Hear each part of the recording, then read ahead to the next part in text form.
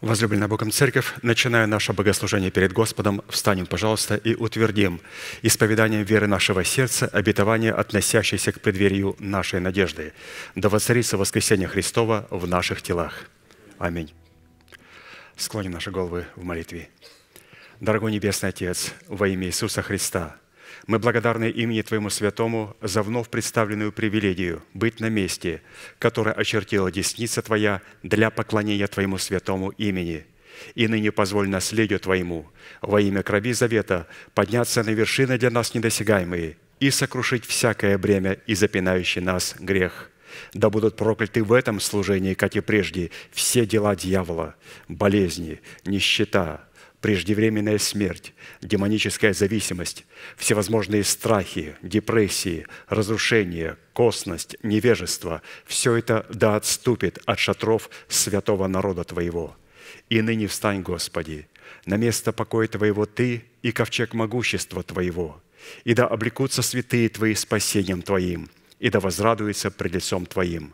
Дай нам больше от Духа Твоего, пропитай нас Духом Твоим святым. Позволь нам – найти светлое лицо Твое. Мы благодарим Тебя, что это служение представлено апостолом Аркадием в Твои божественные руки, и мы молим Тебя, продолжай вести его рукой сильную и превознесенную. Великий Бог, Отец и Дух Святой. Аминь. Будьте благословенны, пожалуйста, садитесь. Возлюбленная Богом Церковь, благодать, милость и мир вам от Бога Отца и Господа нашего Иисуса Христа да умножится – я хочу продолжить цикл проповеди под названием «Угодить Богу». Это последнее предупреждение церкви, которое призвано приготовить ее к обличению в весон чистый и светлый, который будет являться нашим новым нерукотворным телом, которое призвано поглотить наше перстное тело. Евреям 11.6. «А без веры угодить Богу невозможно, ибо надобно – чтобы приходящий к Богу веровал, что Он есть, и ищущим Его восстает. Верою жена невеста Агнца в своем хождении перед Богом приготовила себя, и таким путем, прежде переселения своего на небо, она получила свидетельство, что она угодила Богу. И свидетельство сие состояло в том, что, минуя положенную всем смерть, ей дано было право облечь свое тленное тело своего нового человека, пришедшего в меру полного возраста Христова, в достоинстве весона чистого и светлого. Весон же есть праведность святых. Для большей ясности этого обетования, которое подлежит исполнению в преддверии нашей надежды, прежде чем мы получим право на сретение с Господом на воздухе – выслушаем эту информацию в том порядке, в котором она записана в книге Откровения, Откровение 19, 1, 9. «После всего я услышал на небе громкий голос, как бы многочисленного народа, который говорил «Аллилуйя! Спасение и слава, и честь, и сила Господу нашему! Ибо истинные и праведны суды Его, потому что Он осудил ту великую любодейцу, которая расслила землю» любодейством своим, и взыскал кровь рабов своих от руки ее. И вторично сказали «Аллилуйя!» и дым ее восходил во веки веков. Тогда двадцать четыре старца и четыре животных пали и поклонились Богу, сидящему на престоле, говоря «Аминь, Аллилуйя!» И голос от престола шел говорящий, «Хвалите Бога нашего, все рабы Его и боящиеся Его, малые и великие». И слышал я как бы голос многочисленного народа, как бы шум вод многих, как бы голос громов сильных, говорящих «Аллилуйя!» ибо воцарился Господь Бог Вседержитель. Возрадуемся и возвеселимся, и воздадим Его славу. Ибо наступил брак Агнца, и жена его приготовила себя, и дано было ей облечься весон чистый и светлый. Весон же есть праведность святых.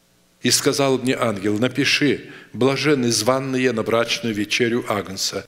И сказал мне, сии суть истинные слова Божии.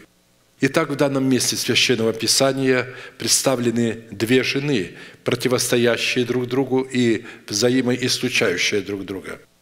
Это жена, сидящая на звере багряном в лице вавилонской блудницы, которая составляет самую многочисленную прослойку или категорию в собраниях святых. То есть вавилонская блудница – это люди, которые смешивают божественные откровения с выбросами своего надменного человеческого интеллекта.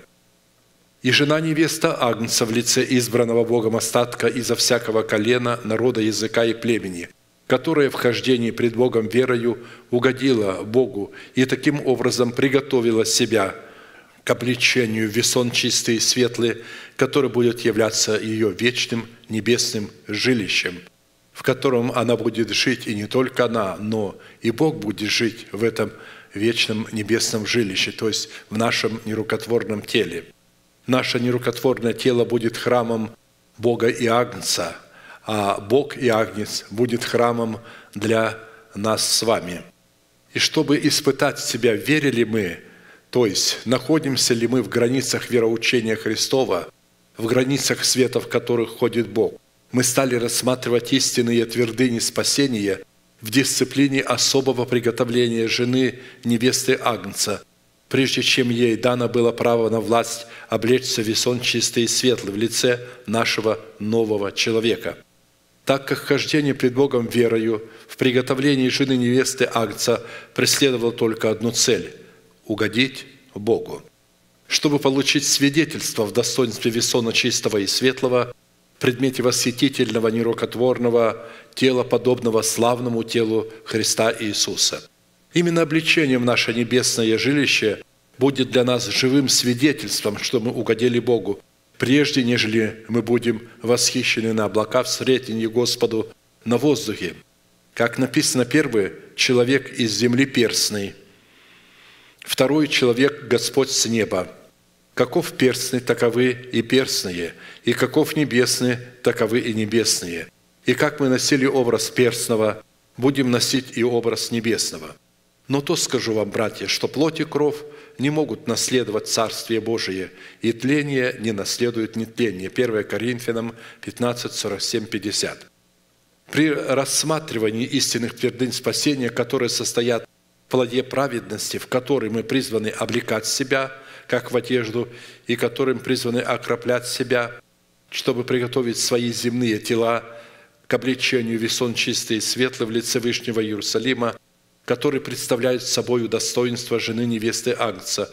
Мы уже рассмотрели определение славы Божией в Вышнем Иерусалиме и обратились к определениям его светильника, которым является Агнец. Так как 12 составляющих образ светильника Вышнего Иерусалима – уже были предметом нашего исследования, мы продолжим наше исследование с 13 составляющей. В 13 светильник Господень, подобный драгоценнейшему камню яспису кристалловидному, в Иерусалиме в лице доброго сердца жены невесты Агнца обнаруживает себя в ее способности быть престолом, на котором восседает ветхий днями. Видел я, наконец, что поставлены были престолы, и восел ветхий днями. Одеяние на нем было, как снег, и волосы головы его, как чистая волна. Престол его, как пламя огня, колеса его, пылающий огонь, огненная река выходила и проходила пред ним. Тысячи тысяч служили ему, и тьмы тем предстояли пред ним. Судьи сели, и раскрылись книги. Видел я тогда, что из-за изречений высокомерных слов какие говорил Рок, зверь был убит в глазах моих, и тело его сокрушено и предано на сожжение огню. И у прочих зверей отнята власть их, и продолжение жизни дано им только на время и на срок. Даниила 7, 9, 12. В данном образе, представленным в аллегорическом формате, жена невеста Агнца обнаруживает характеристики исходящего от нее света в характеристиках престола, на котором восседает ветхий днями. И если престолом Бога Всевышнего, который в лице жены невесты Агнца представляет характеристики святости в пламени огня и в огненной реке, которая уходила и проходила пред лицом Всевышнего, то престолом вавилонской блудницы, претендующей на царское достоинство жены невесты Агнца, является сам багряный зверь. Багряный – это э, зверь греха – потому что слово «багряный» относится к греху. Если ваши говорит, грехи будут как багряная, как снег убелю. И поэтому она восседает на звере багряном, который ее представляет. Дисквалификация вавилонской блудницы и багряного зверя, на котором она восседает, претендуя на благородный статус жены невесты Агнца, обнаруживает себя в восходящем свете суда жены невесты Агнца, в котором за изречение высокомерных слов зверь был убит, и в глазах жены невесты Агнца тело зверя было сокрушено и отдано на сожжение огню. И у прочих зверей отнята была власть, и продолжение жизни дано им на время и на срок. Под образом зверя с семью головами и десятью рогами просматривается человек греха, сын погибели, выдающий себя миру за Мессию Израиля. Телом зверя являются все те люди, которые имеют на своих челах или на своей правой руке позорное клеймо зверя. В нашем переводе «печать зверя», в оригинале это клеймо зверя. К печати никакого отношения не имеет. Это позорное клеймо – которое определяется в этих людях помышлениями плотскими, ведущими их в погибель, независимо от того, членами какой церкви они являются. Жизни вечной удостаиваются только люди с помышлениями духовными, которые представляют на их челах печать Бога Живаго. То есть духовные помышления представляют на наших челах печать Бога Живаго, а плотские помышления представляют на челах людей позорное клеймо зверя – и поэтому клеймо зверя, которое определяется в людях помышлениями плотскими, они пойдут в погибель. Погибель вечную наследуют все люди, которые имеют на своих челах печать или начертание зверя в предмете их плотских помышлений, которые являются великим злом пред лицом Бога. Таким образом, светильник Вышнего Иерусалима в лице жены невесты Агнца обнаруживает себя в пламени престола Всевышнего, с позиции которого Бог производит суд над имеющими на своих челах клеймо зверя. Да будут славословия Богу в устах их, то есть речь идет о святых, и меч обоюда острый в руке их, для того, чтобы совершать мщение над народами, наказание над племенами, заключать царей их вузы и вельмож их в железные – производить над ними суд писанный. Честь сия всем святым Его. Аллилуйя. Псалом 149, 6, 9. То есть в данном случае мы видим, что Бог производит свой суд через святых, через избранный им остаток, которые подобны Ему, которые возлюбили правду в носителях правды и возненавидели беззаконие в носителях беззакония. Потому что бесполезно просто возненавидеть беззаконие или возлюбить правду, потому что она проявляет себя только в носителях. Далее светильник Господень, подобный драгоценнейшему камню яспису кристалловидному, Вышнем Иерусалиме в лице жены невесты Агнца, обнаруживает себя в способности восходящего света правды, которого спасение, правда которого и спасения, как горящий светильник. Не умолкну ради Сиона и ради Иерусалима не успокоюсь, доколе не взойдет, как свет правда его, и спасение его, как горящий светильник». Исайя 62, 1. Устами Бога, которые дают Богу юридическое право не успокаиваться в своем ходатайстве и не умолкать, доколе не взойдет, как свет правда Иерусалима и спасение его, как горячий светильник, это все святые, в устах которых будет юридическая способность радостно славословить Бога, а в руках их будет, будет меч обоюда острый, чтобы совершать мщение над народами, наказание над племенами и заключать царей их вузы и вельмож их в оковы железные. При этом следует отметить, что беспорочная радость в славословии Богу прилична и доступна только праведным. «Радуйтесь, праведные Господи, правым прилично славословить». Псалом 31, 2. Так что прилично славословить Бога только праведным людям.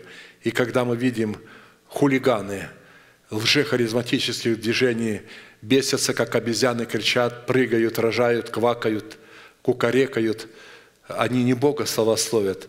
Это там проявляется полностью адская пляска – потому что только праведным прилично славословить Бога. Из данного определения следует, что если радость человека порочна, то это говорит о том, что праведность его не обладает юридическим статусом, а следовательно, славить Бога такому человеку неприлично. Таким образом, беспорочная радость в славословии Богу с единовременным наличием в руках меча обоюда острова рассматривается Богом как восходящий светильник. Образ восходящего светильника – это образ восходящего солнца, знаменующего воскресение из мертвых, которое обнаруживает себя в исцелении святых, благоговеющих пред лицом Бога от смерти. То есть эти лучи исцелят от смерти и в единовременном попрании своими ногами нечестивых. А для вас, благоговеющие пред именем Моим, взойдет солнце правды и исцеление в лучах Его. И вы выйдете и взыграете, как тельцы упитанные, и будете попирать нечестивых. Они будут прахом под стопами ног ваших в тот день, который я соделаю, говорит Господь Саваоф. Малахия 4 глава, 2-3 стих. Подводя итог данной составляющей, следует, что лучи восходящего солнца формате восходящего света являются вестниками, возвещающими тысячелетнее царство Иисуса Христа и избранного им остатка, для которого Господь Иисус стал светильником. При этом начало тысячелетнего царства будет ознаменовано не только исцелением от смерти, но и великим попранием всех нечестивых земли, деятельность которых состояла в том, чтобы приписывать себе достоинство посланников Бога, приписывать свои низкие пороки. Притом, когда речь идет об этих людях, то речь не идет о земных царях, речь идет о царях, которые господствовали над своим телом, то есть о людях, которые называли себя верующими христианами, вот об этих великих, мощных конгрегациях религиозных. В-третьих, давая определение характеристикам Вышнего Иерусалима в лице жены невесты Агнца, Писание говорит, что он, Иерусалим, имеет большую и высокую стену, и что стена города основана на 12 драгоценных основаниях, на каждом из которых написаны имена 12 апостолов Христовых. Он, то есть Иерусалим, имеет большую и высокую стену, стена города имеет 12 оснований, и на них написаны имена 12 апостолов Агнца. Откровение 21, 12, 14. Речь идет о стене, которая находится внутри города Иерусалима, которая имеет 144 локтя, потому что сами стены Иерусалима, они обладают, э, значит, 12 тысяч стадий, что в длину, что в высоту, что в ширину. Это куб такой. А внутри есть уникальная стена на 12 драгоценных основаниях, стена из ясписа в 144 локтя. И на ней, на каждом основании написаны имена 12 апостолов Агнца – во-первых, под двенадцатью основаниями стены в мудром сердце человека следует рассматривать начальствующее учение Христова в формате нашей надежды, в то время как под большой и высокой стеной на этом основании следует рассматривать устроение нашего упования. То есть это надежда, это фундамент здания, а уже сам дом, который мы выстраиваем, или храм – в который мы себя устраиваем на этом основании, на надежде, называется упование. Как написано, быв утверждены на основании апостолов и пророков, имея самого Иисуса Христа краеугольным камнем, на котором все здание, слагаясь стройно, возрастает в святый храм в Господе, на котором и вы устрояетесь в жилище Божие Духом. Во-вторых, характер 12 драгоценных оснований – Стены Вышнего Иерусалима в лице жены невесты Агнца хорошо представлен в притче Христа о человеке, который построил дом свой на камне, который характеризует собою образ формата нашей надежды. Итак, всякого, кто слушает слова мои, говорит Христос, и исполняет их, уподоблю мужу благоразумному, который построил дом свой на камне, на надежде нашего призвания – и пошел дождь, и разлились реки, и подули ветры. То есть Бог допускает всякие скорби, потрясения, тесные обстоятельства, чтобы испытать свое строение, на чем оно стоит, на камне или же на песке. И когда устремились все эти напасти на дом тот, то он не упал, потому что основан был на камне. А всякий, кто слушает сии слова мои и не исполняет их, уподобится человеку безрассудному, то есть глупому, который построил дом свой на песке. И пошел дождь, и разлились реки, и подули ветры, и налекли на тот дом. И он упал, и было падение его весьма великое. Матфея 7, 24, 27. И если основание дома, состоящего из камня, является нашей надеждой, представленной в образе 12 драгоценных оснований, то домом, построенным на этом основании в образе стены из ясписа вышиною в 144 локтя, является наше упование, возведенное на этой надежде. В-третьих, в строении храма Соломонова и стен его двора характер надежды нашего призвания, призванный быть основанием нашей стены, представлен был в больших дорогих камнях в размере 10 и 8 локтей. И если камни размером в 10 локтей символизируют образ святости завета – заключенного с Богом, то камни размером 8 локтей представляют образ самого завета человека с Богом. В основании положены были камни дорогие, камни большие, камни в 10 локтей и камни в 8 локтей. 3 Царь 7.10. В-четвертых, в пророческой песне сынов Кореевых характер основания нашей надежды, пребывающий в наших сердцах в предмете 12 драгоценных оснований, представлен в святых горах – под которыми, разумеется, образ славных обетований, сокрытых в нашей надежде.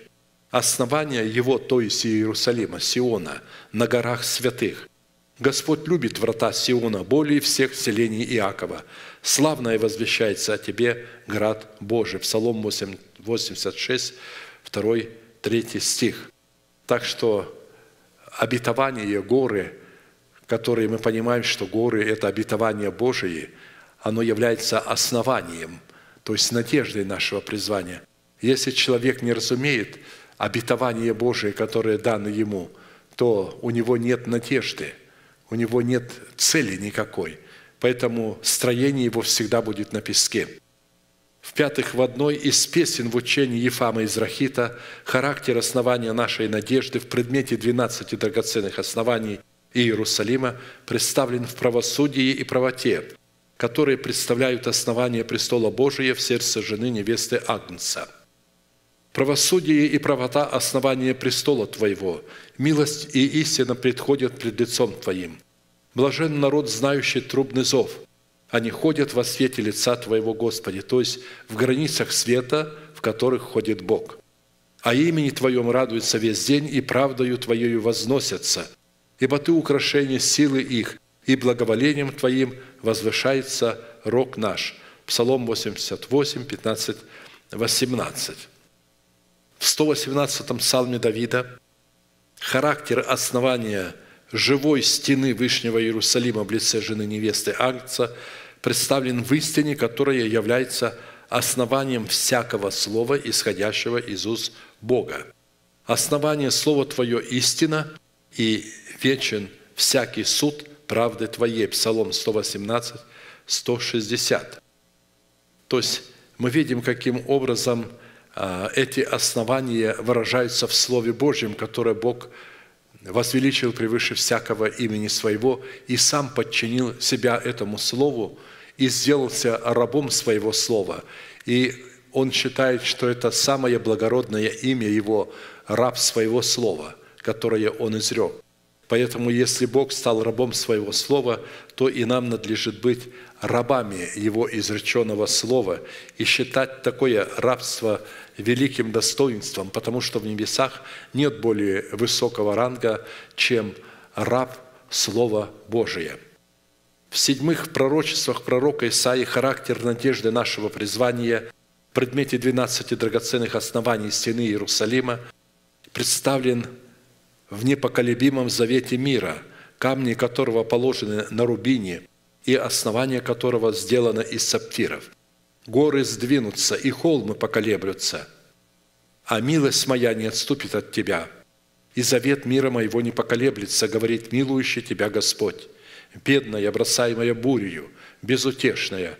Вот я положу камни твои на рубине и сделаю основание твое из сапфиров». Исайя 54, 10, 11. То есть здесь Бог образно показывает, как Он относится к людям, которые имеют под собой надежду из 12 драгоценных оснований. Восьмых апостол Павел называл надежду нашего призвания в образе 12 драгоценных оснований стены Вышнего Иерусалима в лице жены невесты Агнца добрым основанием для будущего, чтобы посредством этого доброго основания достигнуть вечной жизни. 1 Тимофею 6, 17, 19. «Богатых в настоящем веке увещевай, чтобы они невысоко думали о себе и уповали не на богатство неверное, но на Бога живаго, дающего нам все обильно для наслаждения, чтобы они благодетельствовали, богатели добрыми делами, были щедры и общительны, собирая себе сокровища, доброе основание для будущего, чтобы достигнуть вечной жизни. Во втором послании, это э, девятая часть, Тимофею апостол Павел определил характер надежды в сердцах народа Божьего в предмете 12 драгоценных оснований в стене Вышнего Иерусалима – как твердое основание Божие, которое имеет печать на челах святых под названием «Познал Господь своих». Но твердое основание Божие стоит, имея печать сию, «Познал Господь своих», и да отступит от неправды всякий, исповедующий имя Господне. А в большом доме есть сосуды не только золотые и серебряные, но и деревянные, и глиняные, и одни в почетном, а другие в низком употреблении. Итак, кто будет чист от всего, тот будет сосудом в чести, освященным и благопотребным владыке, годным на всякое доброе дело». 2 Тимофея 2, 19, 21. Печать Божия в характеристиках стены, как мы увидим далее, указывает на тот фактор, что на челе жены невесты акция печать Бога написана на ее челе, состоит в имени Отца – мы потом встретимся дальше с людьми, у которых печать на челах, которые представляют стену Вышнего Иерусалима. В десятых по учению характер надежды, который является основанием для нашего упования на Бога и на Его слова, выражает себя в надежде на Бога, что будет воскресение мертвых, праведных и неправедных. Но в том признаюсь тебе, говорит апостол Павел, что по учению, которое они называют ересью, я действительно служу Богу отцов моих, веруя всему написанному в законе и пророков, имея надежду на Бога, что будет воскресение мертвых, праведных и неправедных, чего и сами они ожидают. Деяние 24, 14, 15. В свое время, говоря о надежде нашего призвания, Иисус сказал такие слова, которые вошли в основание нашей надежды или вероучения. Не дивитесь всему, ибо наступает время, в которое все, находящиеся в гробах, услышат глаз Сына Божия и изыдут творившее добро воскресение жизни, а творившее или делавшее зло воскресение осуждения. Иоанна 5, 28, 29. Далее, одиннадцатых. Все, что было записано в Писании, прежде написано нам в наставление – чтобы мы терпением и утешением из Писаний сохраняли в своем сердце надежду нашего призвания, которая является основанием нашего вероучения или основанием для возведения и устроения на нем нашего упования. А все, что написано было прежде, написано нам в наставлении, чтобы мы терпением и утешением из Писаний сохраняли надежду. Римлянам 15.4. В двенадцатых верою обитая на земле обетованной, как на чужой, Авраам ожидал города, имеющего основание которого художник и строитель Бог. То есть ожидал, долготерпел, терпел, пока он увидит этот город. То есть терпение – это ожидание определенного упования. Бог пообещал ему показать город, художник и строитель которого Бог. И поэтому Авраам – с терпением ожидал, чтобы увидеть этот город. Верою Авраам поминовался призванию идти в страну, которую имел получить в наследие, и пошел, не зная, куда идет. Верою обитал он на земле обетованной, как на чужой, и жил в шатрах с Исаком и Иаковом, сонаследниками того же обетования, ибо он ожидал города, имеющего основание, которого художник и строитель Бог. Евреям 11, 8, 10.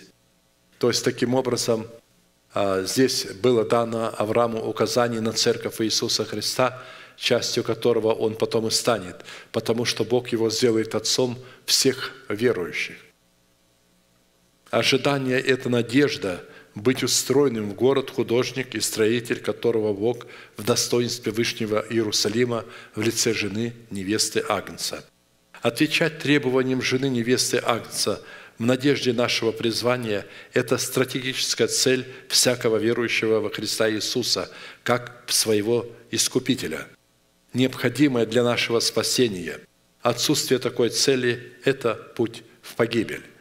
Это напрасная трата времени, напрасное просиживание или напрасная бурная деятельность, которую проявляют многие верующие для того, чтобы получить оправдание или спасение. Это путь в погибель. А теперь обратимся к образу большой и высокой стены, мерою в 144 локтя, состоящей из ясписа, представляющей собою характер нашего упования, которая была устроена на 12 драгоценных основаниях, представляющих собою характер надежды нашего призвания.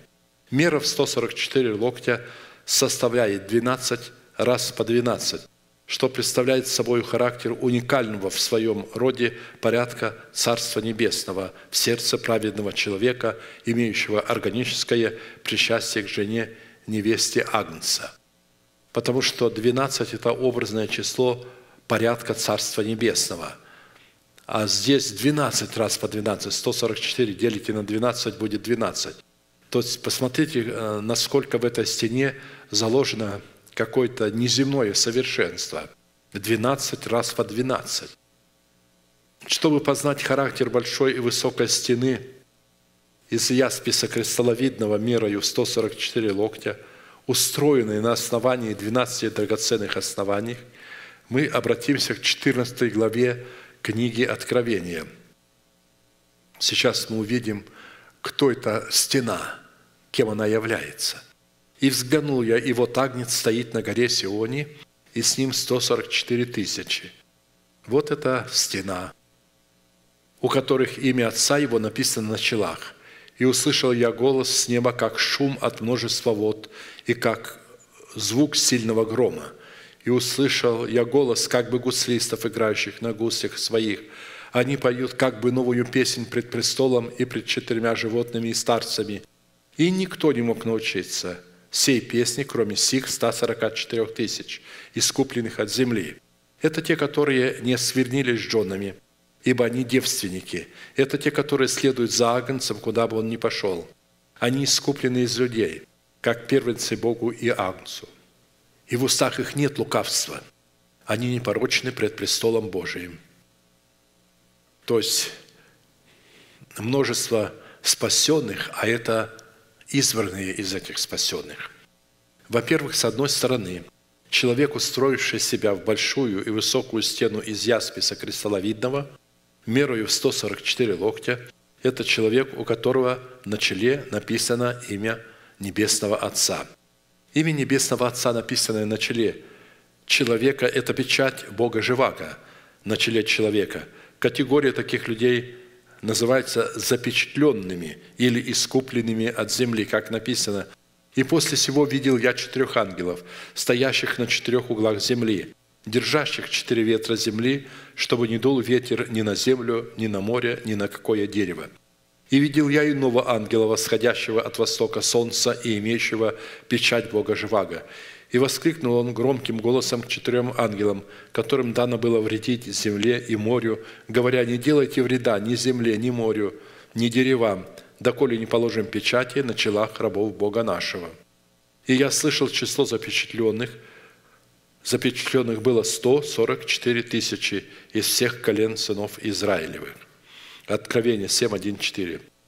Природа и характеристика драгоценного ясписа кристалловидного, представляющего наше упование на Бога и на Его Слово, из которого состояла большая и высокая стена, устроена на 12 драгоценных основаниях надежды нашего призвания, это образ смиренного и сокрушенного духом, трепещущего перед Словом, исходящим из уст Небесного Отца, указывающий на сработу воли человека с волей Божией, как написано – так говорит Господь, небо престол мой, а земля подножие ног моих. Где же построите вы дом для меня, и где место покоя моего? Ибо все это соделала рука моя, и все сие было, говорит Господь. А вот на кого я презрю, на смиренного и сокрушенного духом, и на трепещущего пред словом моим. Исайя 66, 1, 2. А с другой стороны, о категории людей, устроивших себя в большую и высокую стену на основании 12 драгоценных оснований, которые представляют собою жену-невесту Агнца, говорится, что в устах их нет лукавства и что они не сквернились женами, ибо они девственники, что указывает на тот фактор, что им открыта была истина о тайне тела Христова в лице Церкви Христовой, что дало им основание не осквернять себя взаимоотношениями с теми собраниями, которые не являлись женой невеста Агнца, а претендуют на ее статус. Однако восхищение Бога вызывает только одна именитая черь, ноги которой одеты в прекрасные сандалии, которые являются образом истинного света для мира, который несет с собой истинное вероучение, отвечающее требованиям характеристик Вышнего Иерусалима. Оглянись, оглянись, Суламита, оглянись, оглянись, и мы посмотрим на тебя». Другой голос отвечает, что вам смотреть на Суламиту, как на хоровод Манаимский. И снова восхищается, «О, как прекрасны ноги твои в сандалиях, черь именитая».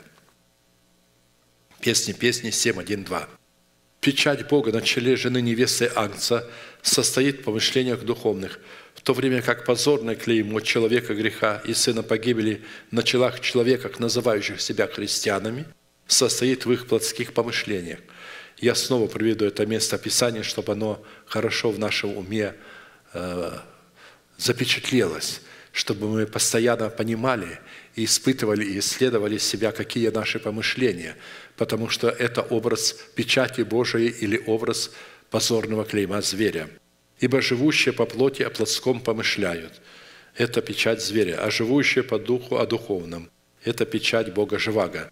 Помышления плотские – суть смерть, а помышления духовной – жизни мир, потому что плотские помышления – суть вражда против Бога. Вражда против Бога, то есть обычно таких людей, которые враждуют с Богом, называют Писание антихристами. «Ибо закону Божию не покоряются, да и не могут». Римлянам 8, 5, 7. Исходя из этой констатации, люди, имеющие плотские помышления – не могут иметь никакого отношения к высокой и большой стене из драгоценного ясписа кристалловидного мерою в 144 локтя. Потому что именно внутренние помышления, сокрытые от глаз человека, определяют природную истинную сущность самого человека. Написано в притче 23.7, «Потому что каковы мысли в душе человека, таков и он» в то время как не сверняться с женами или же быть девственником, следуя за агнцем, куда бы он ни пошел, означает не оставлять своего собрания. При этом под своим собранием имеется в виду только такое собрание, которое отвечает требованиям тесных врат. Поэтому такое собрание немногие найдут, а найдя, немногие туда войдут. Потому что это врата тесные, и войти туда со своими э, какими-то помышлениями плотскими невозможно, или со своими взглядами. У меня моя голова, у меня моя Библия. Такие люди вообще не пройдут сквозь тесные врата.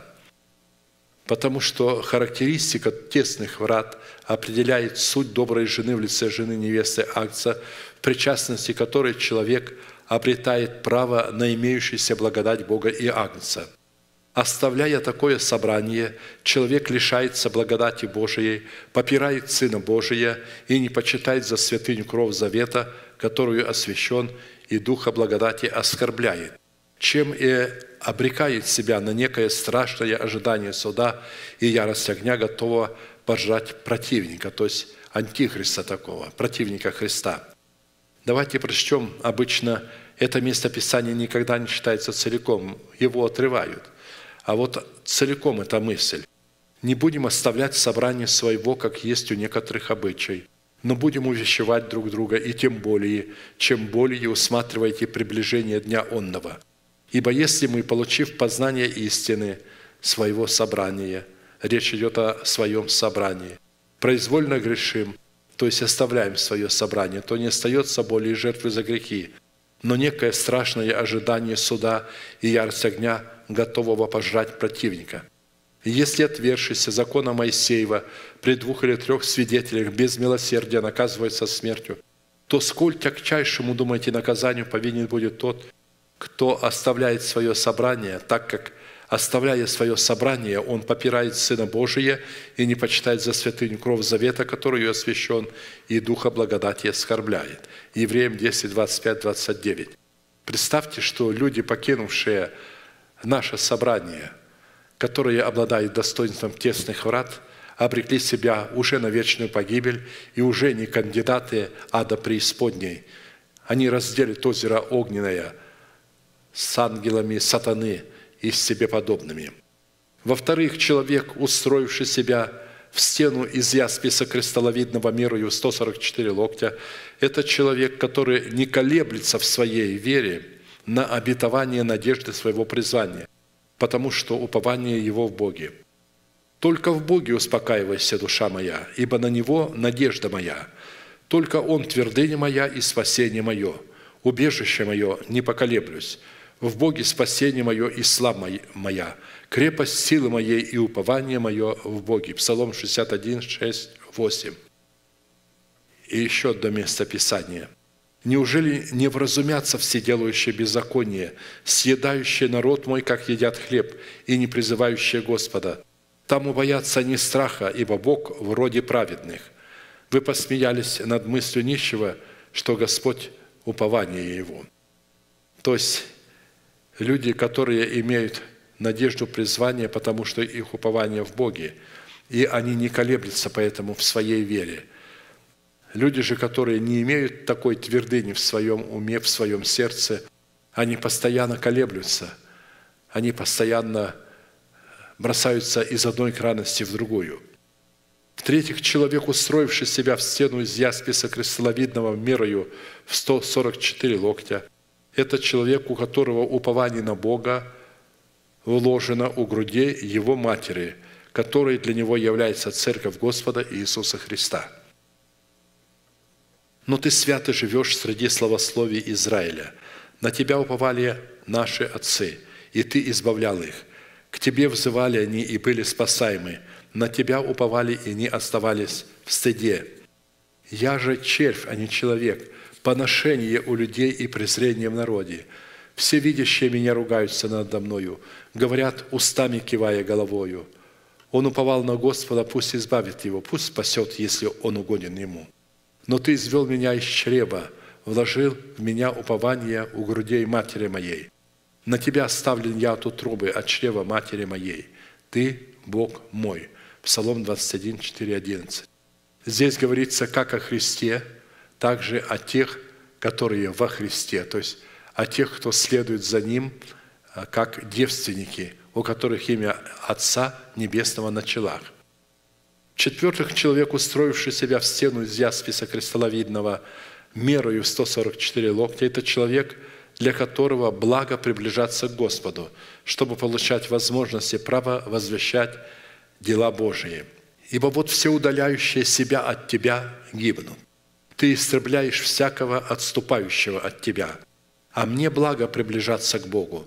На Господа Бога я возложил упование мое, чтобы возвещать все дела Твои. Псалом 72, 27, 28. Как много Давид говорит о своей надежде и о своем уповании на Бога. И говорит, что он испытывает удовольствие, наслаждение, когда он приближается к Богу. И в то же время говорит, какая участь постигнет, которые удаляют себя от Бога. Бог никогда не удаляется от человека сам. Человек удаляется от Бога, а Бог не удаляется от него. Но когда человек удаляется от Бога, Бог не преследует его. Он просто ожидает, что будет дальше. Возвратится человек или же совсем уйдет во тьму. В-пятых, человек, устроивший себя в стену из ясписа мерою в 144 локтя, это человек, которого избрал и приблизил к себе Бог, чтобы он жил во дворах его и насыщался благами дома его. Блажен, кого ты избрал и приблизил, чтобы он жил во дворах твоих. Насытимся благами дома твоего, святого храма твоего. Страшный в правосудии, услышь нас, Боже, Спаситель наш. То есть речь идет о нашем собрании. То есть, когда здесь говорится, что Бог приблизил и избрал человека, чтобы он жил во дворах его, то есть в собрании, потому что Бог живет в своем собрании. И э, дворами Господа является свое собрание. Каждое собрание имеет внешний двор, имеет святилище и имеет святое святых. То есть люди в этом собрании делятся на три категории. То есть внешний двор он отдал на попрание язычникам, а им придется испытать на себе всю ярость э, дракона и всю ярость наказания Божия, когда церковь будет взята, внешний двор не будет взят, потому что в небесах внешнего двора не будет. Святилище – это э, неразумная жена, которая не позаботилась о достаточном количестве масла в своем сосуде, а уже святая святых – это мудрые. Но и мудрые, и неразумные, неразумные потом становятся мудрыми, когда жена невеста Агнца уходит, когда младенец в лице жены невеста Агнца будет взят, тогда жена, которая была неразумна, заплатит цену за покупку елея, и за то, что она заплатила цену, ей дана будет два крыла большого орла – это Тумим и Урим. И тогда она получит статус двух пророков. И тогда по ее слову, если кто-то будет выступать против нее, она может свести огонь с неба, чтобы он пожал их. Она будет превращать воду в кровь.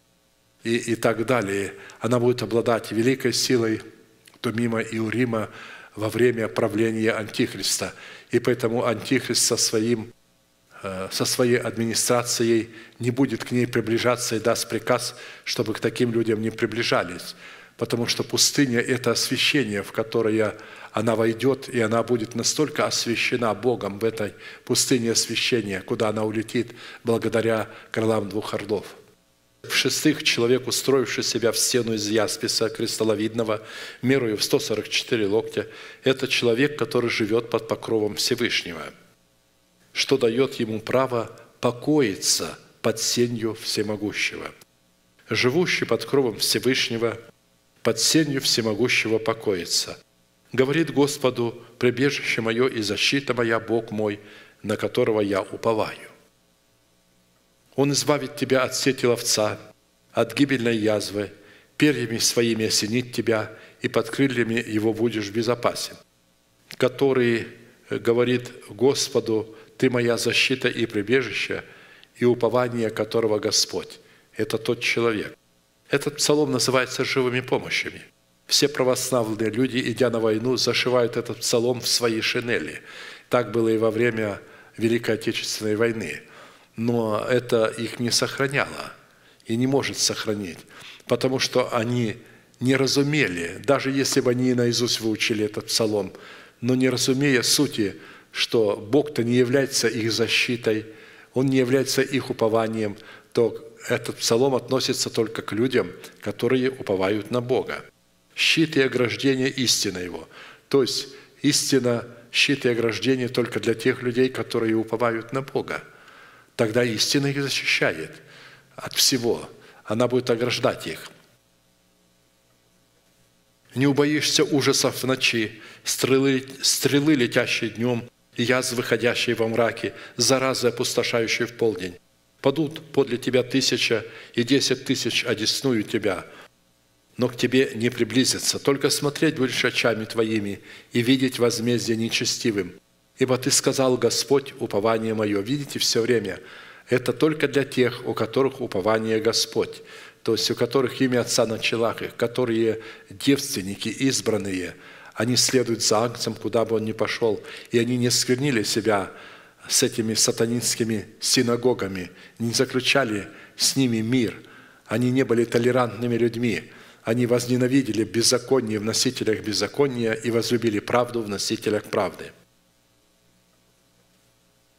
Ибо ангелом своим заповедает о тебе охранять тебя на всех путях твоих, на руках понесут тебя, да не прикнешься о камень ногою твоею, на аспида и Василиска наступишь, попирать будешь льва и дракона».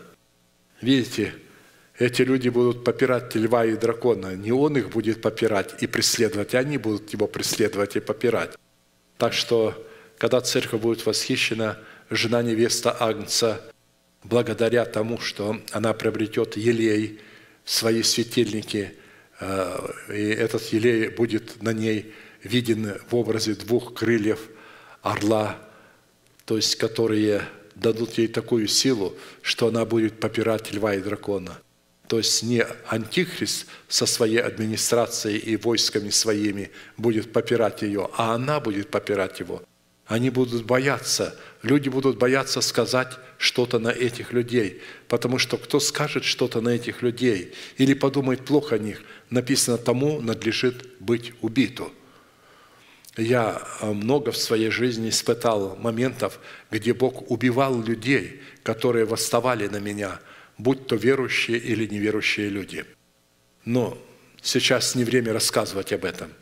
В-седьмых, человек, устроивший себя в стену, в стену из ясписа кристалловидного мерою в 144 локтя, это человек, который обратил свое сердце к знанию своего Отца и хранит это знание в сердце своем и в устах своих.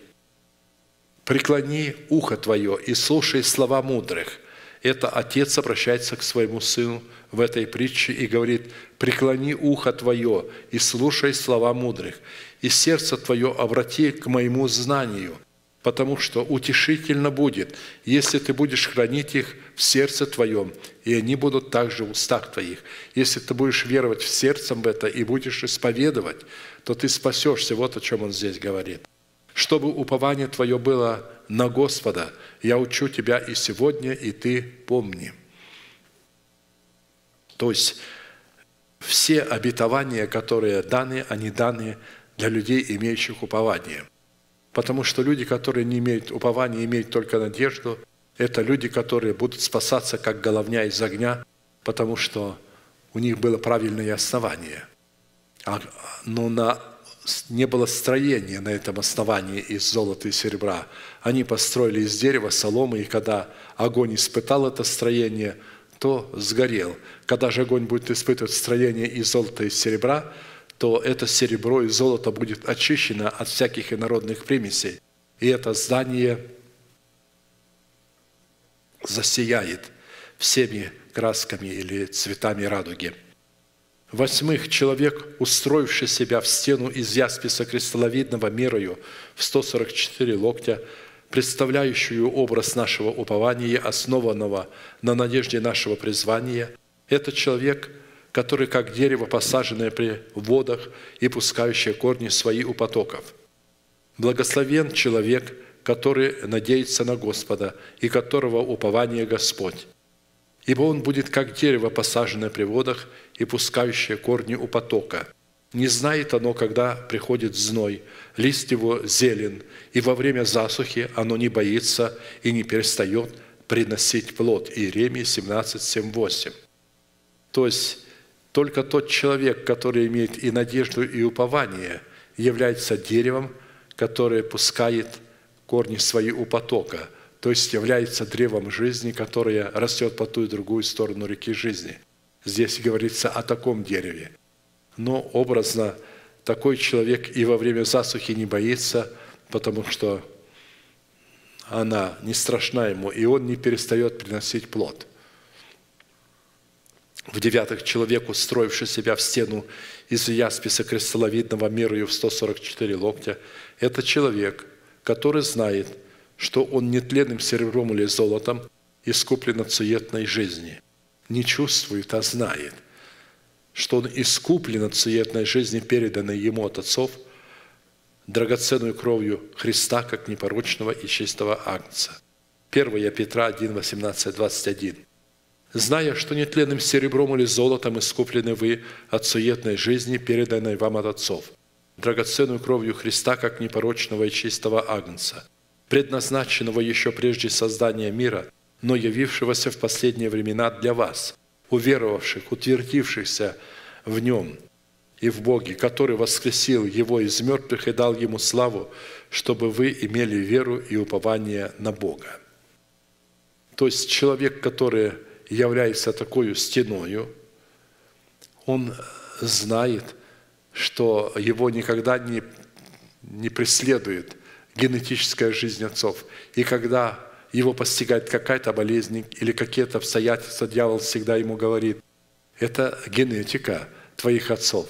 А он всегда говорит, нет, это обстоятельства, которые призваны испытать меня, как золото, чтобы очистить меня от всяких инородных примесей.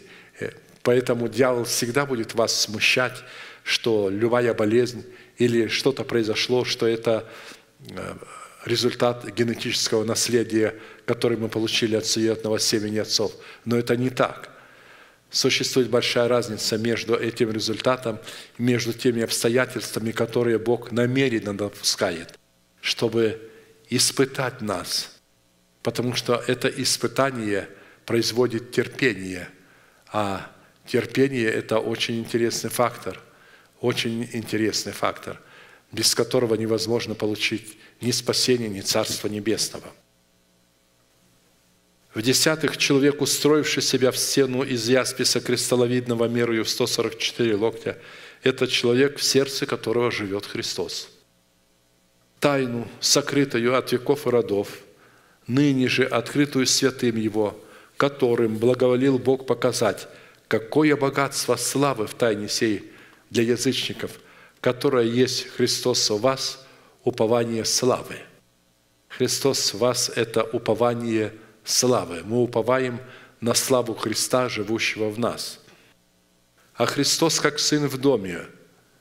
Дом же Его мы, если только дерзновение и упование, которым хвалимся твердо, сохраним до конца. Евреям 3,6. Я полагаю, что подлинное дерзновение и подлинное упование легко сохранить до конца – до конца не сохранит тот, у кого это дерзновение и упование не истинное, половинчатое. Только половинчатое будет истреблено. Богу не нужно половинки какие-то или э, недоросли какие-то. Он взирает на свою невесту как на личность, которая достигла полноты совершенства, чтобы представить ее всем ангельским иерархиям, которые будут вечно восхищаться Э, его невестой или тем домом, в котором будет жить сам Бог. Ангелы будут служителями в этом доме. В одиннадцатых. Человек, устроивший себя в стену из ясписа кристалловидного мерою в 144 локтя, это человек, который обладает способностью хранить здравомыслие и рассудительность. То есть мы все время себя испытываем, когда слышим эти слова.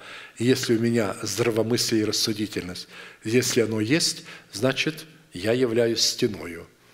И сосу меня как башня, я буду в глазах его, как достигшая полноты. Храни здравомыслие и рассудительность, и они будут жизнью для души твоей и украшением для шеи твоей. Тогда безопасно пойдешь по пути твоему, и нога твоя не споткнется – когда ляжешь спать, не будешь бояться, и когда уснешь, сон твой приятен будет. Не убоишься внезапного страха и пагубы от нечестивых, когда она придет, потому что Господь будет упованием твоим и сохранит ногу твою от уловления. Притчи 3, 21, 26. Видите, как Господь а, бережно охраняет а, тех людей, которые имеют упование. Он не убоится никакого страха в ночи, и нечестивых, которые попытаются а, оболгать его и присвоить ему свои пороки, а достоинство его присвоить себе, он и этого не убоится. Я встречал многих людей, сегодня много людей, которые выхватывают из проповеди, данной мне Богом, и э, говорят об этом как о своих откровениях, но только они это откровение всегда разбавляют, как блудница. Она растворяет вино, и оно делается, э, то есть, великим блудом, за что они и будут потом наказаны. Если я видел, как все эти воры профессиональные пришли на похороны к висельнику, даже у православных, если человек закончил жизнь самоубийством, э, его никогда хоронить не будут, православные. Его будут хоронить мирские люди. А здесь весь цвет пятидесятничества пришел хоронить висельника. Он повесился, их епископ. И все подходили, э, целовали его в лоб. Этим самым они говорили, что мы такие же, как и ты. Мы в очередь за тобою. Но настолько а, вот невежество застлила их ум, э, жажда известности и власти поглотила их, и поэтому они продолжают воровать. Блудница, она профессиональная воровка. Она ворует откровения Божьи, а потом извращает их, смешивает с выбросами своего надменного интеллекта. Но э, Бог говорит, что невеста или человек, относящийся к категории невеста жены Агнца, никогда не испугается даже такого – Почему? Потому что он уповает на Бога. Он предает все это Богу. Он знает, что Бог тоже это видит, и Бог защитит свою истину для своей невесты. Ему не надо защищать свою истину перед синагогами сатаны и перед этим миром. Он защитит свою истину для избранного собой им остатка. В 12 человек, устроивший себя в стену из ясписа кристалловидного мерою в 144 локтя, это человек, который во Христе Иисусе сделался наследником, предназначенным к тому по определению Бога, совершающего все по изволению воли Своей. В нем вы и соделались наследниками. То есть мы наследниками можем соделаться только во Христе. А чтобы попасть во Христа, нечто нужно – человек своими усилиями не сможет попасть во Христа. И когда мы рождаемся от семени слова истины, мы не попадаем во Христа. Нам просто дается э, залог. И если мы этот залог не пустим в оборот и не получим прибыль, то есть не принесем плода правды, не посеем семя оправдания из себя с этим семенем оправдания, то никакого плода не будет. А мы попадаем во Христа, когда приносим плод, в плоде, при рождении нашего Мафусала. А до этого мы не были во Христе, и Христа в нас также не было. Поэтому в нем мы соделались наследниками. То есть именно в нем мы делаемся наследниками нашего нерукотворного тела. Когда говорится наследниками, мы должны прекрасно понимать, что нашим наследием является небесное жилище – наше нерукотворное тело, которое призвано поглотить собою наше рукотворное тело, то есть облечь нас собою. Как жемчужные врата – это результат того, что там внутри жемчужных врат находится инородное тело, рукотворное, а сам жемчуг – это нерукотворное тело. Так что в небесах постоянно будет присутствовать и то, и другое – в нем мы соделались наследниками, я продолжу эту мысль, наследниками нерукотворного тела, быв предназначены к тому по определению совершающего все по изволению воли своей, дабы послушать к похвале славы Его нам, которые ранее уповали на Христа. Ефесянам 1, 11, 12. Еще раз повторю, что быть наследником можно только при наличии, если мы имеем упование на Господа. Если у нас нет упования, и мы спасены как головня из огня, мы имели только надежду, а строение наше было на этом а, драгоценном камне из сена или соломы, то оно сгорело, а мы спаслись как бы из огня. Но наследниками мы уже не станем. Мы не сможем наследовать то прекрасное нерукотворное тело, хотя они будут воскрешены, но тела их будут совершенно другие. Они не будут обладать, обладать той славой, славой, которой будет обладать тело жены невесты Агнца. потому что тело жены невесты Акца будет светом для мира. Весон чистый свет – это свет, исходящий от нее. То есть она своим телом будет преломлять убийственные лучи, убийственный свет Бога, так как Он будет жить в ней, и, и только через нее они могут видеть свет и будут ходить во свете Иерусалима. На этом я хочу закончить. Аминь. Да благословит вас Господь и да соделает ваши сердца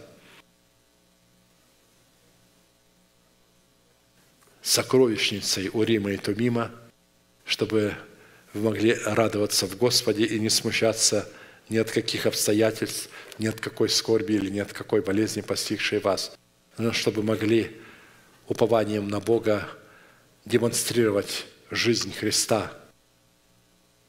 И вы должны носить это все в информации, независимо от ваших чувств. Да, чувства могут быть понижены или вообще исчезнуть от определенных обстоятельств, но информация не может исчезнуть, которую вы сокрыли в вашем сердце.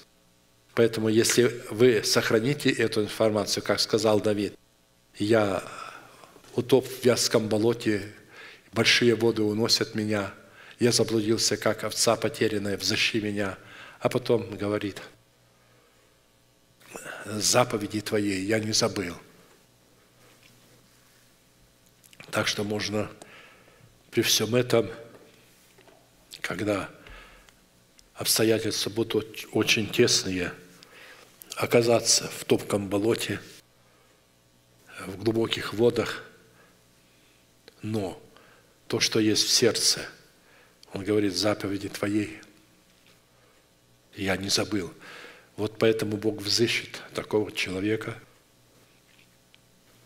Рано или поздно эти скорби закончатся, это кратковременные страдания. Так что устремите взоры к небесам и ожидайте избавления.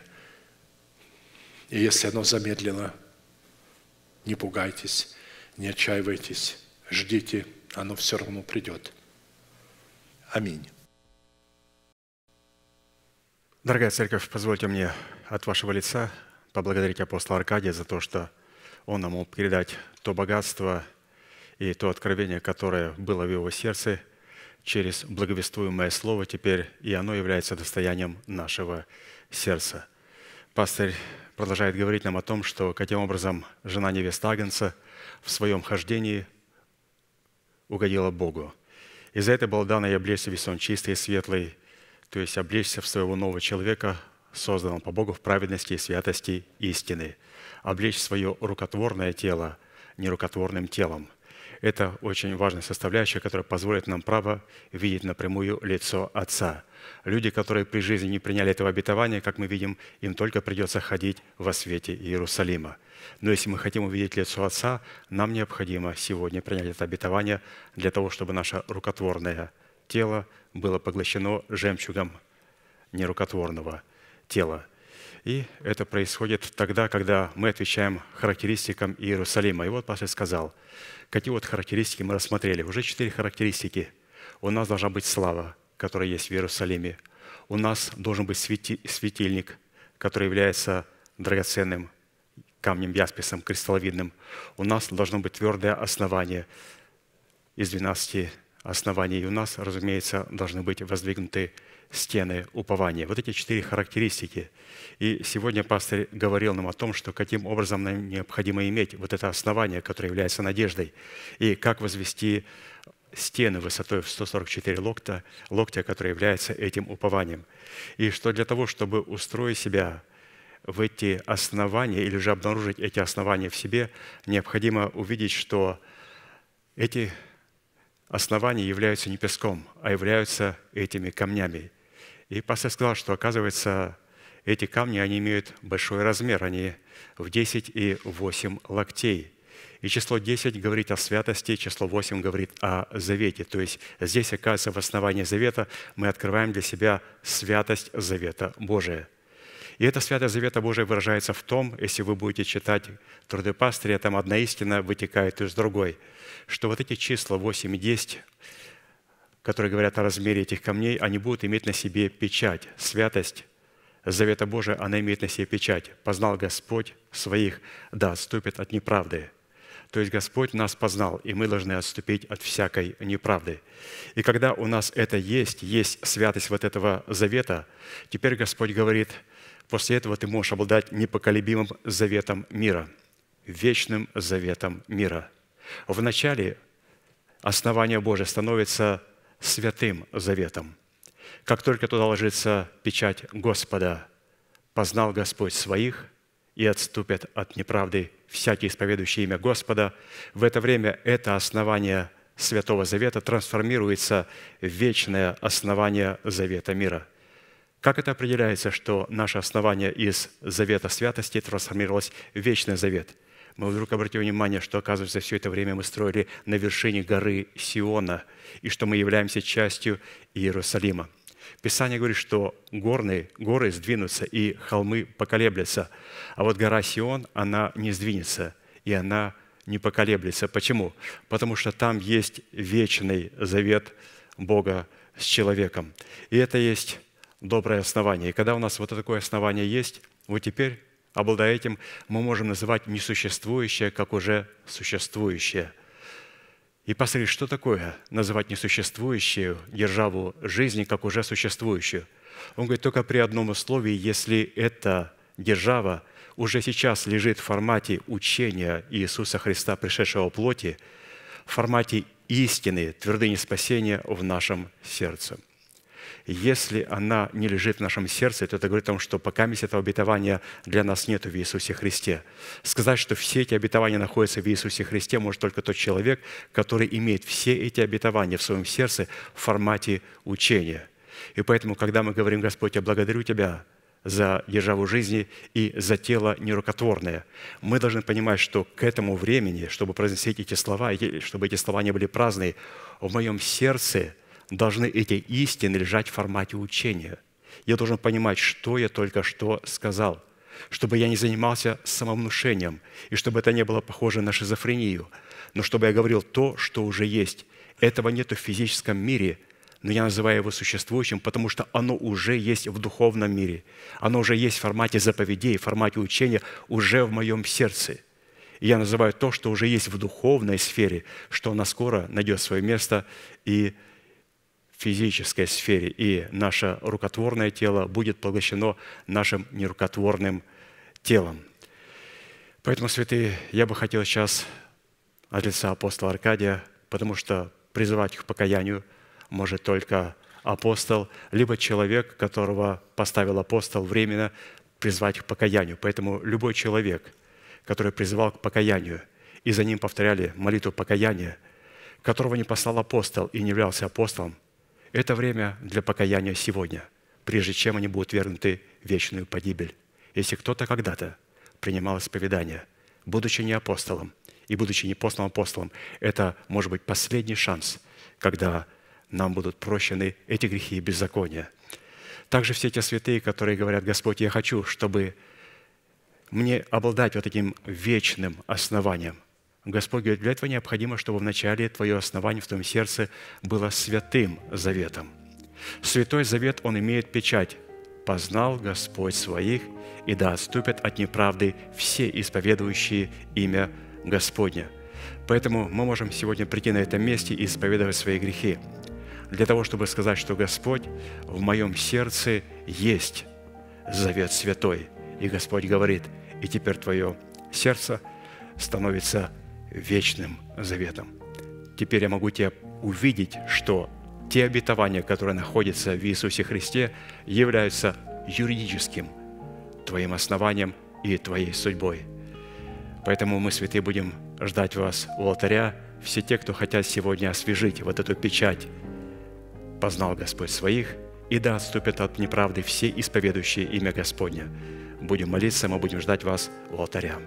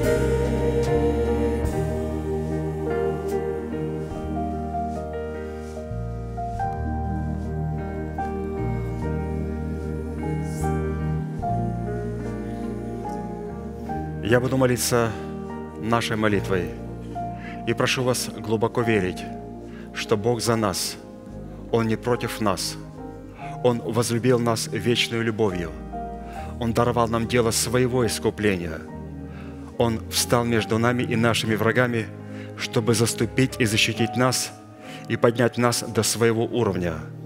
Глаза закрыты – это элемент тайной комнаты – Руки воздеты к небесам – это знак того, что мы готовы прямо сейчас принять от Бога без гнева и сомнения. Пожалуйста, молитесь вместе со мной.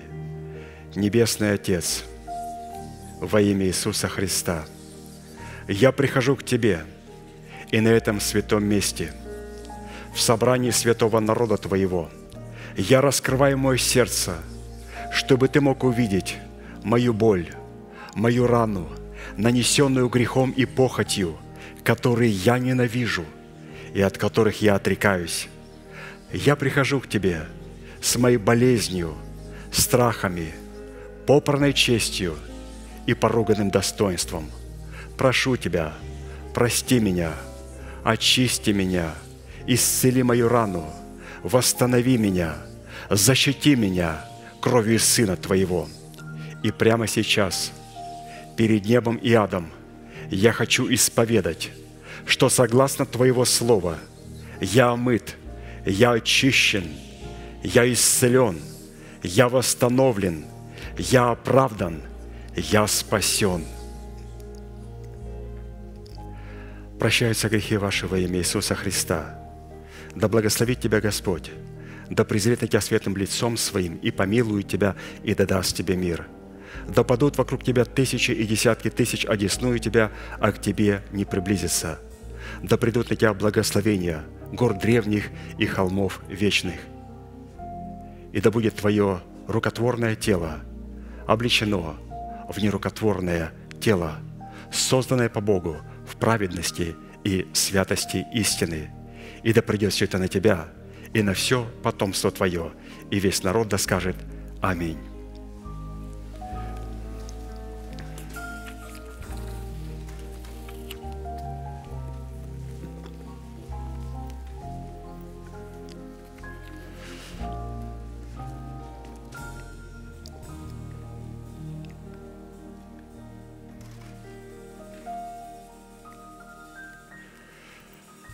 Закончим нашей неизменной манифестацией. Могущему же соблюсти нас от падения и поставить перед славою Своею непорочными в радости, единому, премудрому Богу, Спасителю нашему, через Иисуса Христа, Господа нашего, слава и величие, сила и власть прежде всех веков, ныне и во все веки. Аминь.